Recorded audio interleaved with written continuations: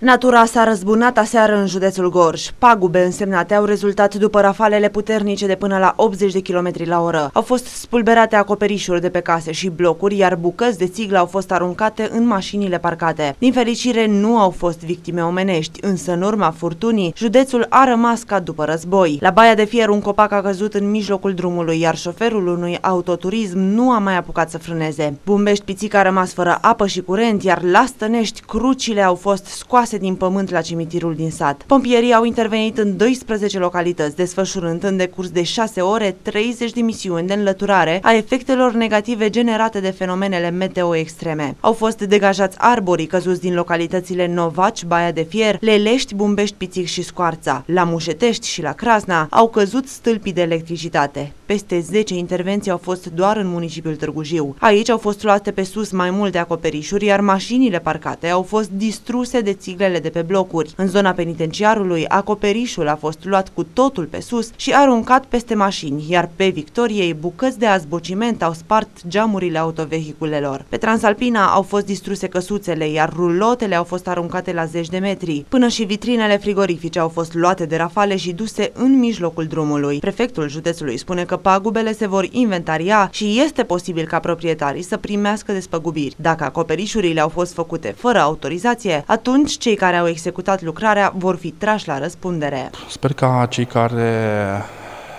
au avut, au suferit aceste pagube să fi fost asigurați. Trebuie verificat dacă acoperișurile construcțiilor au avut autorizație de construire, pentru că, din câte știți dumneavoastră, la nivelul municipiului Târgu Jiu, au picat câteva acoperișuri, nu știu dacă aveau autorizație, trebuie verificat acest lucru. Se vor inventaria pagubele și este extrem de probabil ca să fie acordate despăgubiri. Dar încă o dată, repet, trebuie verificat dacă construcțiile aveau autorizație și dacă erau în regulă din acest punct de vedere. Cine va răspunde în caz contrar? Uh, cel care a executat lucrarea fără autorizație trebuie să suporte pagubele. Acesta este un lucru cert. Și primarul municipiului este de aceeași părere. Romanescu spune că împotriva fenomenelor meteo extreme nu se poate pune nimeni, însă e mulțumit că pagubele nu au fost mai mari. Edilul spune că asociațiile de proprietari vor suporta daunele rezultate după furtună. Din datele pe care le am în acest moment, în mare parte, acoperișurile care au căzut de pe blocuri erau realizate fără autorizații. Și asta e o mare, mare problemă. Le atragem atenția tuturor, întotdeauna reprezentanților asociațiilor de proprietari că ar trebui să-și rezolve această probleme, să intre în legalitate. Sunt foarte puține prejudicii care au fost create de mm, arborii de pe raza municipiului Târgu Jiu, ă, ă, prejudicii create bunurilor familiilor din Târgu Jiu. Cele mai mari probleme au fost create de acoperișurile de pe blocuri sau de pe case. Iar acolo primăria municipiului Târgu Jiu nu are niciun fel de responsabilitate pentru că uh, responsabilitatea revine în totalitate reprezentanților asociațiilor de proprietari. Isu Gorj a emis și mesajul RoAlert de cod roșu în localitățile vizate de fenomenele extreme, însă după ce furtuna deja trecuse. Până când se vor stabili vinovații, oamenii rămân cu daunele și vor fi nevoiți să-și repare mașinile pe propria cheltuială. Nici după moarte nu te poți odihni. Neînțelegerile dintr-o familie din Târgu Jiu au continuat și după ce un membru a fost înmormântat. Familia defunctului nu ar fi fost niciodată de acord cu soția acestuia și timp de 20 de ani a existat un continuu război între noră, cumnată și soacră. Certurile s-au mutat la cimitir după moartea lui Mihai în urma unei boli incurabile. Nicolița, soția defunctului, a dus o viață frumoasă alături de Mihai. Nu aveau prea multe, dar iubirea lor a dăinuit vreme de două decenii decenii. Femeia locuiește în Rovinari, acolo unde a reușit alături de soțul ei să cumpere o garsonieră. Nu aveau loc în cimitirul de acolo, însă exista un mormânt concesionat la cimitirul din Târgu Jiu. Totuși, concesiunea este pe numele soacrei, iar de aici a pornit întreg conflictul. După ce și-au dat acordul ca Mihai să fie înmormântat la Târgu Jiu, familia lui nu a mai vrut să audă de soție. Femeia a venit zilnic la Târgu Jiu să-i aprindă o lumânare celui căruia i-a jurat credință și, din puținul ei, a reușit să-i ridice o cruce. Sărmana văduvă se urcă în tren dimineața și se întoarce la rovinari în jurul prânzului, neputând să accepte moartea fulgerătoare a lui Mihai. El e singurul care a fost și v-a rămas. Pentru mine e ca și când ar fi viața. Pentru că aici mă simt liberă. Îi simt că l-am lângă mine în ăsta acasă. Plâng că mă duc, am tablou pus lângă mine în pat. Tablou nu a murit, plecat de acolo de când voi muri și eu. Tablou e pus în pat unde dormea el, locul în care dormea el. Nu scol dimineața, îi zis să ducă să-ți fac cafeaua. Voi ce fac cafea, hai că o fac eu, dar scol și bea cu mine. La 12, unul, când ajung două, când ajung acasă, îi zic, hai să mâncăm. Și continuu fac așa. Noi am fost de despărțiți 20 de ani, noi împreună, nici la cumpărături nu ne aduceam unul fără celălalt. Am lucrat împreună la Vicola, după aceea am plecat în Italia din 2014 până în 2019. Noi am fost, nici la pâine nu ne duceam unul fără celălalt. Am stat când l-au operat în Italia o lună și 5 zile cu el, lângă patru lui. Dorința ei a fost ca înainte să-i facă pomana de un an să îi ridice o cruce. A reușit, însă la câteva zile după montarea acesteia, femeia nu a mai găsit-o la mormânt. Familia a fost cea care ar fi luat-o de acolo pentru că ar fi fost și numele ei pe monumentul funerar. Nicolița spune că nu are pretenția să fie înmormântată acolo, cu toate că și ea este grav bolnavă, însă, fiind soția lui, a vrut să fie și numele ei scris pe monumentul de la căpătăiul lui Mihai. Mie nu mi-au spus nimic, au spus domnul director Nimară că nu ar fi avut nimic cu crucea dacă nu eram trecută eu pe cruce. Eu sunt trecută pe cruce pentru că sunt soția lui. Nu urmez, nu vreau ca să fiu înhumată deasupra soțului, că nu se știe, poate voi muri și pe, peste un an, doi, pentru că am murit iscos, care a fost cancerigen, dar am zis că neavând copii să fiu și eu trecută pe cruce. Când a văzut că crucea de pe mormânt dispăruse, femeia a sunat la poliție. Polițiști din cadrul Poliției Municipiului Târgu Jiu efectuează verificări într-o sesizare primită de la o femeie din municipiul Târgu Jiu cu privire la faptul că de la mormântul soțului său, soacra sa a solicitat reprezentanților cimitirului ridicarea crucii de la mormânt, întrucât aceasta nu și-ar fi dat acordul pentru a fi amplasată. Ne-a transmis IPJ Gorj. Văduva spune că nu a știut că este ilegal să ridice monumentul la mormântul soțului său, atât timp cât familia acestuia și-a dat acordul pentru înhumare. Deci eu nu am crezut că e ceva ilegal să pun o cruce deasupra mormântului la capul soțului meu. Deci atâta timp cât ei au fost de acord cu înhumarea aici, nu am știut că este ilegal ca să-i pun o cruce deasupra capului soțului meu. Am încercat în repetate rânduri să o contactăm pe soacră pentru un punct de vedere, însă nu a dorit să ne ofere mai multe detalii. Ce s-a întâmplat? De ce ați luat uh, crucea de acolo? Spun câteva cuvinte. De ce ați ridicat-o de acolo? Nu se înțelege, mă, doamne, nimic. De aia, nu. Gata, da. Acum femeia își dorește ca crucea să fie reașezată la căpătâiul defunctului. În locul monumentului este acum un suport de lumânări din tablă ruginită. Inclusiv crucea de lemn este ascunsă după cea a părinților lui Mihai, ca martor al faptului că acolo se odihnește în pace.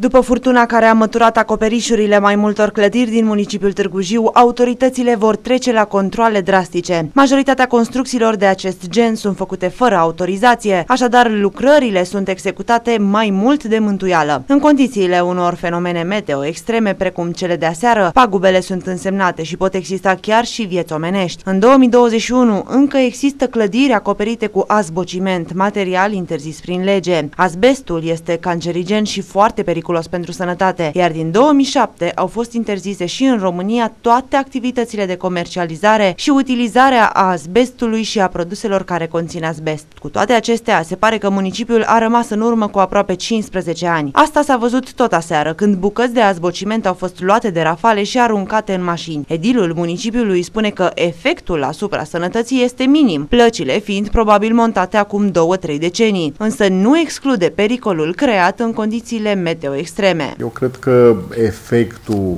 în acest moment, după ani de zile, marea majoritate ale acelor acoperișuri sunt construite acum 20-30 de ani. Efectele sunt uh, minime asupra sănătății, dar efectele maxime pot apărea în situații de, de genul celei, celei de ieri, când acele plăci sunt de un pericol maxim. Eu am văzut o placă de azbociment în, în zona Nicolae Bălcescu, care a zburat de la cel puțin 100 de metri, s-a înfipt în tabla dintr-o mașină și a căzut lângă mașină.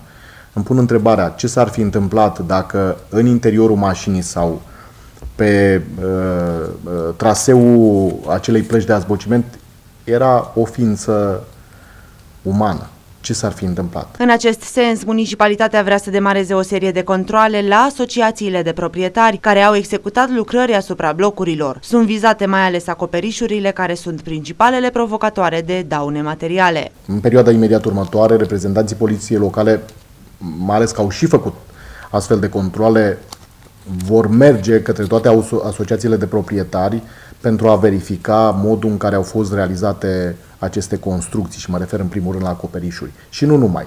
Pentru că aici vorbim și de terase și vorbim și de alte elemente care au fost adăugate fără autorizație la blocuri sau la case. Dacă asociațiile vor fi obligate să plătească daunele, proprietarii spațiilor de locuit vor lua cu o mână și vor da cu alta. Fondurile cu care vor fi plătite despăgubirile vor proveni tot din buzănarul locatarilor, întocmai ca și costurile pentru refacerea acoperișului. Mare sărbătoare azi pentru creștini considerat unul dintre marile praznici ale creștinismului, fiind dezlegare la pește pentru cei care au postit, schimbarea la față este sărbătorită de credincioși pe 6 august. În popor, această sărbătoare este privită ca și începutul toamnei. Schimbarea la față mai este numită și obrejenia, denumire ce vine din slavonă și înseamnă transformare, schimbare. Tot de astăzi și vremea începe să se răcorească, sau cel puțin așa spune tradiția. Lucrările teologice spun că schimbarea la fața Mântuitorului reprezintă data la care Isus, împreună cu cei trei mucenici cei mai apropiați, Petru, Iacob și Ioan, au urcat pe muntele Tabor. Pe când Isus se ruga, apostolii, moleșiți de somn, au tresărit deodată la o priveliște nemai văzută. Chipul Mântuitorului s-a făcut altul. Fața lui strălucea ca soarele, iar hainele lui se făceau albe ca zăpada. Imediat, însă, au avut parte de un lucru neobișnuit. În acea lumină, doi bărbați stăteau de vorbă cu Isus despre patima și moartea sa în Ierusalim. Este vorba despre mari proroci ai Vechiului Testament, Moise și Ilie, spun scrierile teologice. Astăzi ne gândim la lumina cea puternic care puternic strălucește, puternic luminoasă a Mântuitorului Iisus Hristos, care atunci când pe muntele Tabor s-a schimbat la față, efectiv, n-a mai putut fi urmărit, privit, văzut cu ochi trupești cu ochii aceștia pe care noi oamenii, ca umanitate, îi avem. În tradiția populară se mai spune că astăzi nu este bine să te cerți cu nimeni și nici să fii certat de cineva, că așa vei fi tot anul. Fetele sunt sfătuite să nu se pieptene în această zi pentru că nu le mai crește părul, așa cum nu mai crește nici iarba. Ea constituie, de asemenea, un moment important în calendarul viticol. În această zi nu se lucrează și la biserică se duc poame din noua recoltă, se binecuvântează și se împart. Sărbătoarea Schimbarea la fața Domnului datează de la începutul secolului al IV-lea, atunci când Sfânta Părăteasă Elena a zidit o biserică pe muntele Tabor. În documente, sărbătoarea începe să fie menționată din prima jumătate a secolului al V-lea, iar mai târziu s-a generalizat odată cu hotărârea luată de Papa Calist al III-lea. Sfinții părinți au rânduit ca această sărbătoare să aibă loc în august, ultima lună din anul bisericesc.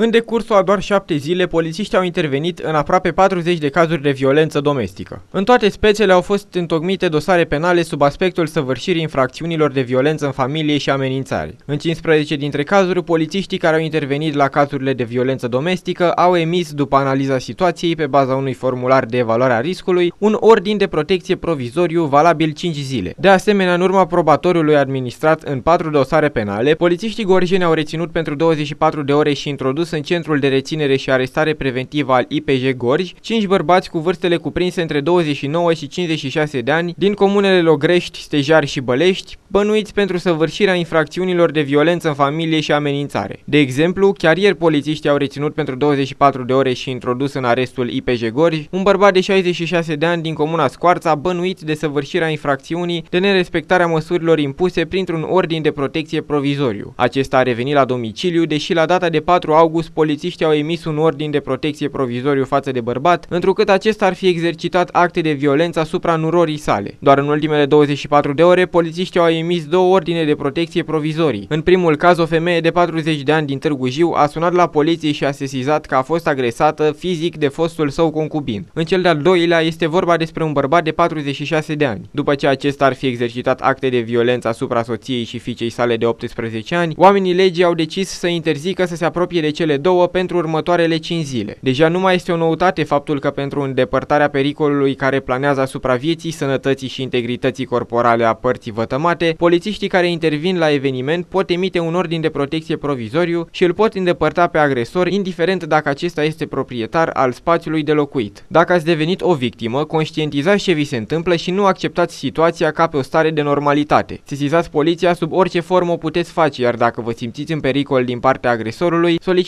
polițistului să vă ajute și să elibereze un ordin provizoriu de protecție cu toate implicațiile juridice ce decurg de aici. În final, cereți ajutorul organizațiilor care oferă consiliere, sprijin sau adăpost. În perioada 30 iulie-5 august anul curent, polițiștii gorjeni au intervenit în 36 de cazuri de violență domestică. În 15 dintre cazuri, polițiștii au emis ordine de protecție provizorii, iar în 4 cauze penale au reușit documentarea activității infracționale, 5 bărbați fiind reținuți pentru 24 de ore și introdus în centru de reținere și arestare preventivă al IPJ Gorj, bănuiți de săvârșirea infracțiunilor de violență în familie și amenințare recomandăm tuturor persoanelor care sunt victime ale unor infracțiuni de violență domestică să sesizeze organele de poliție care au posibilitatea emiterii unui ordin de protecție provizoriu pe o perioadă de 5 zile. Ordinul de protecție provizoriu se emite de către polițiștii care, în exercitarea atribuțiunilor de serviciu, constată că există un risc iminent ca viața, integritatea fizică ori libertatea unei persoane să fie pusă în pericol într-un act de violență domestică în scopul diminuării acestui risc.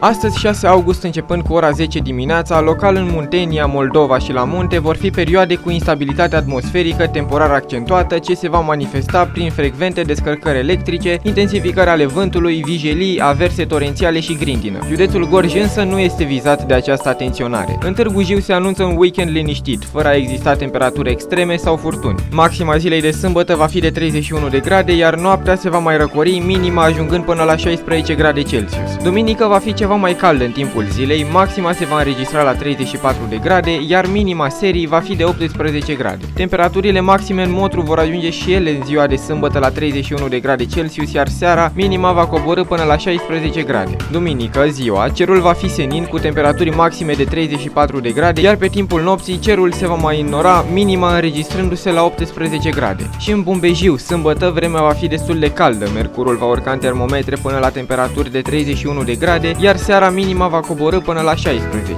În ultima zi a weekendului maximele vor fi de 34 de grade, iar seara minima va ajunge la 18. În Novaci, sfârșitul de săptămână anunță și aici temperaturi maxime de 31 de grade, urmând ca seara minima să coboare până la 18 grade. Duminică, maxima zilei va fi de 34, iar odată cu seara, la fel ca în celelalte zone, minima va coborâ până la 18 grade Celsius. În Rovinari, ziua de sâmbătă va fi la fel de caldă ca în restul zonelor. Maxima zilei va atinge 31 de grade, iar minima serii 18. Duminică, cerul va fi noros, maxima înregistrându-se la 34 de grade, iar seara pe arii restrânse se anunță ploi și minima va fi de 18 grade Celsius.